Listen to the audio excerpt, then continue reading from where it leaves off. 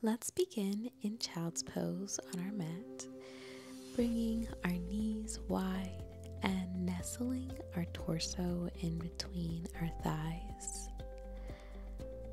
Begin to collect your breath here, reaching your palms to the top of your mat. Inhale and exhale. Inhale, then exhale. Slowly begin to place your left palm on top of your right hand for a bit of a side body stretch here.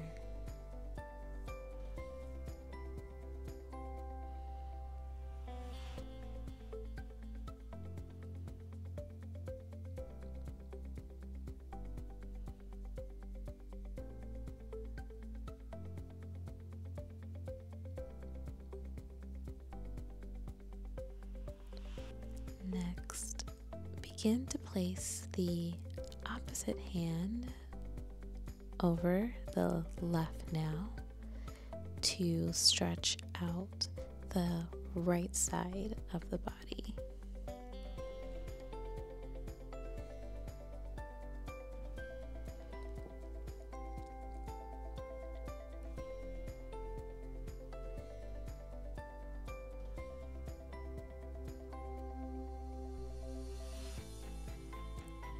Then begin to come back to center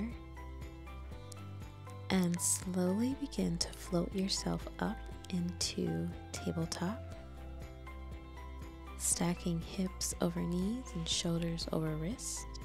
And we'll begin our cat cow sequence by exhaling for cat, inhale for cow. Exhale, protract our shoulders for cat. Deepen for cow.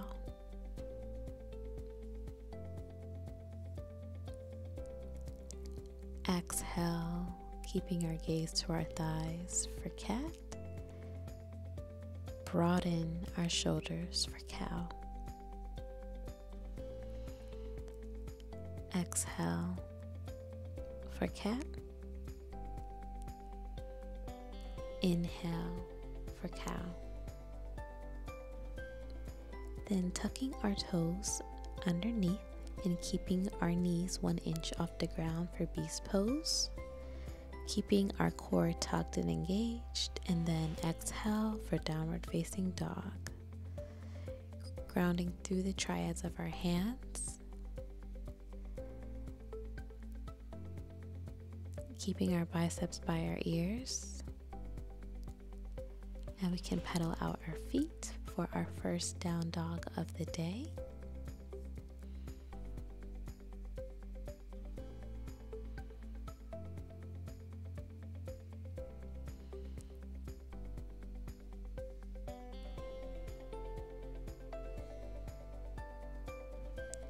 Rise to our toes and slowly begin to travel to the tops of our mat. A brief hang here for ragdoll pose. And slowly but surely, vertebrae by vertebrae, bring ourselves up to mountain pose. We'll circle sweep our arms and bring them at heart center. And now we will begin to prep for our sun A's. So inhale, Urdhva Hastasana. Exhale, forward fold. Inhale, halfway lift, hands to shin. Spine is in neutral. Exhale, Chaturanga Dandasana. Inhale, upward facing dog. Exhale, downward facing dog. Collect our breaths one more. Inhale. Exhale. Inhale, rise to your toes. Exhale, step, hop, travel to the top of your mat. Inhale, halfway lift. Exhale, forward fold. Inhale, rise, Urdhva Hastasana. Exhale, forward fold. Inhale, halfway lift. Exhale, plant your hands, Chaturanga Dandasana. Inhale, upward facing dog. Exhale, downward facing dog.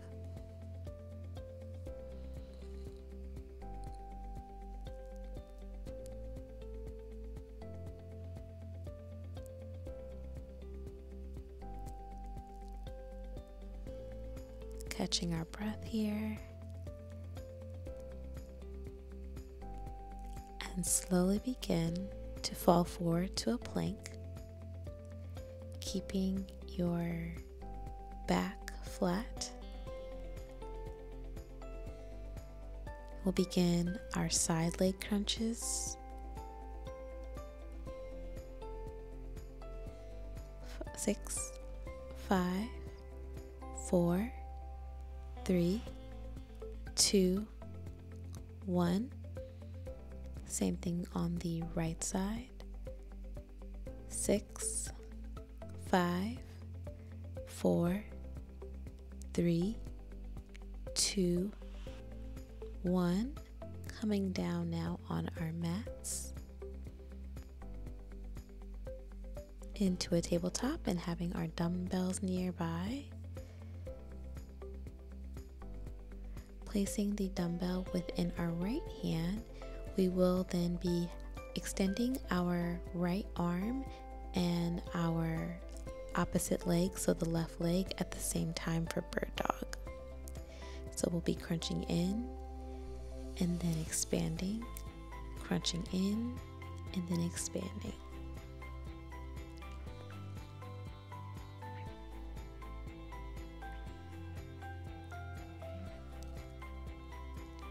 Five, four, three, two, one. Placing the dumbbell off to the side. And now we'll bring the dumbbell into our left hand now, and our right leg will be expanding. Still keeping our shoulders stacked over our wrist. Five, four, three, two, one. I'm placing the dumbbell back onto the mat. We will then transition into our side plank variation, where first our right knee will be on the ground and our left leg is straight, keeping almost like a warrior two leg with our left. And for our dumbbell, we'll have it in our right hand, and we will then begin to, with our obliques, begin to slowly lift up to the sky, a little bit of a dynamic movement here, and then place that dumbbell back onto the ground. So it's a little bit of a dynamic, a little bit of a core stabilizer, core stabilizer since we are essentially balancing. So begin to lift. Five,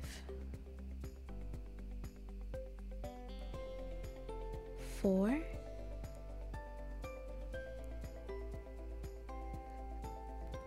three,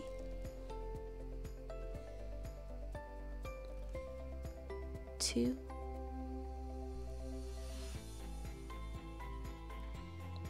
one. Gently place the dumbbell back onto the mat, and we will switch to our left leg now with our right leg being extended and our left leg being placed on the ground for side plank variations. So, ensuring we're keeping the same form on this side as we are stabilizing. Grab your dumbbell. Five.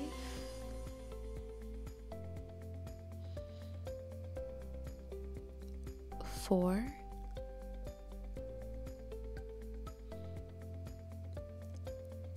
Three. Two. one. We're going to keep one dumbbell as we end up on our backs now. for toe touches. So, similar to a waterfall, we'll fall back onto our backs and lift up both feet to the sky and keeping our dumbbell within our hands. We'll then begin to tuck. So, six, five, four, three, two, one.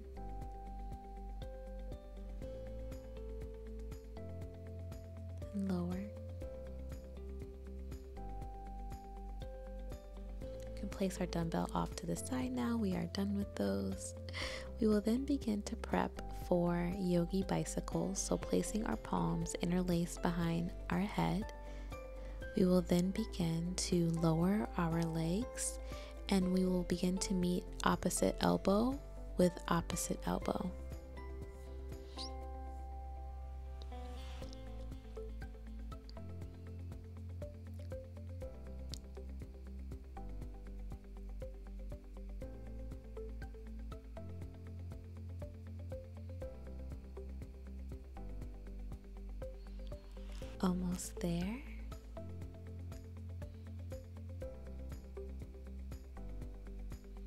Release.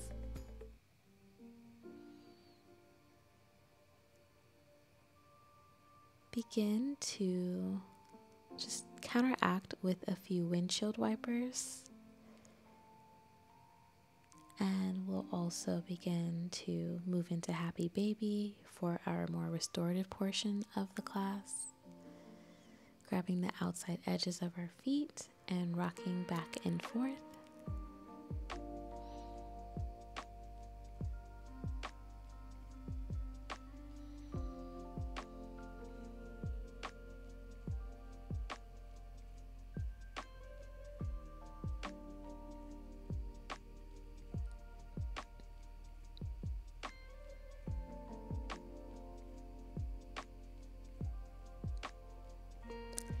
Slowly making our legs into a tabletop.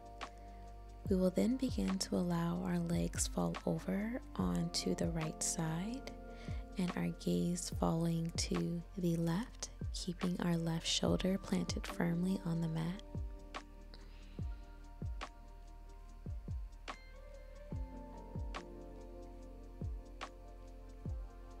For easy supine twist.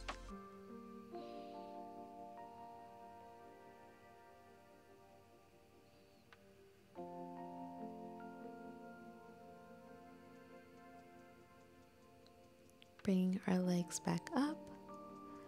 We'll then begin to let it fall over onto the left side now. And keeping our arms straight and passing our gaze over to our right.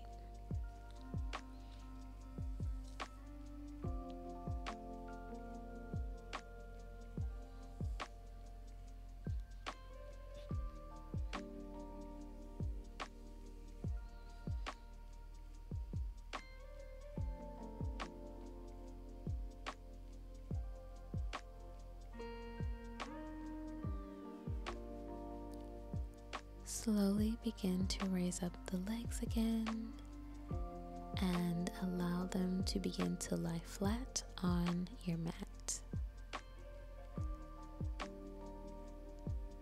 Allow your hands and feet to lay where they lay and your shoulders melt into the mat.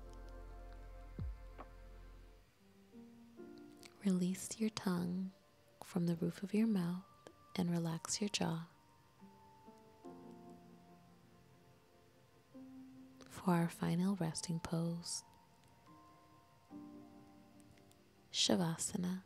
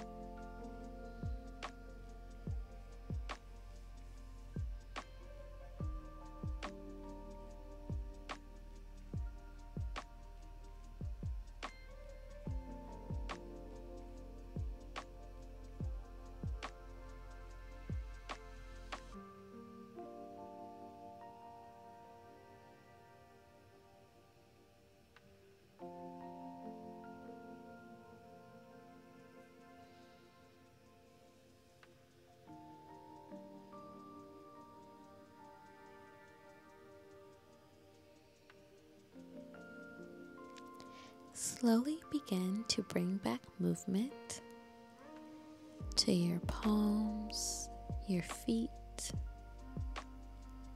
your legs.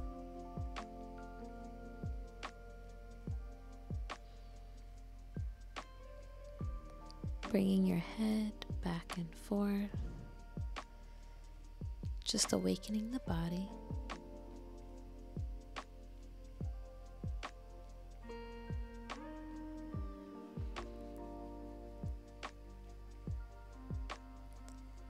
And allow yourself to fall to your favorite side. Just a quick pause and slowly begin to rise up and bring yourself to seated. Circle sweep your arms. Bring in the prayer center. The highest good in me honors, sees, and believes in the highest good in you. Namaste. Thank you so much for flowing with me today for core sculpt. I even felt the burn a little bit. Don't forget to subscribe to the channel. And I'll see you in my next flow.